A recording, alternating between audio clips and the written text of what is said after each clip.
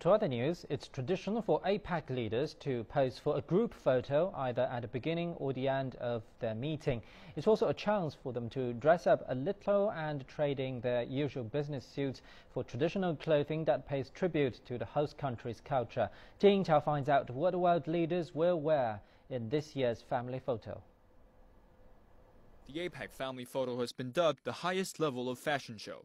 The honorable task this year rests on the shoulder of Yu Qixiang, a tailor in Jakarta. Established 82 years ago, the photo on the wall tells the history of his shop. And now it is the primary choice of Indonesian President Susilo Bambang Yudhoyono.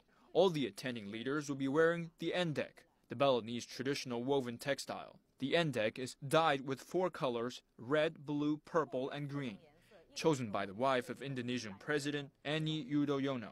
Yu Qixiang said President Xi Jinping will wear red, an auspicious color in Chinese culture. Dressing in traditional costumes dates back to the first such meeting in 1993. The then U.S. President Bill Clinton outfitted the leaders in leather bombardier jackets.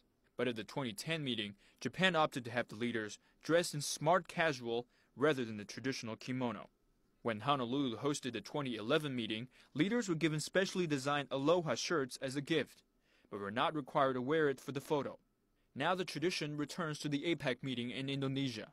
Yu Qixiang said picking a Chinese company to make the costume is a sign of increasingly closer ties between China and Indonesia. Jing Chao, CCTV.